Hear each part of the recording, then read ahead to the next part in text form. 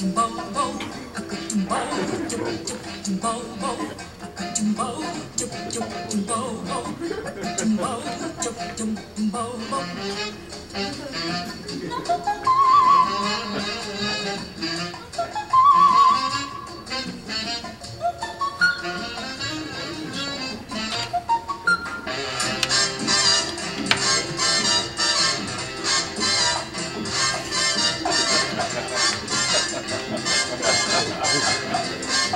Tied around the other leg.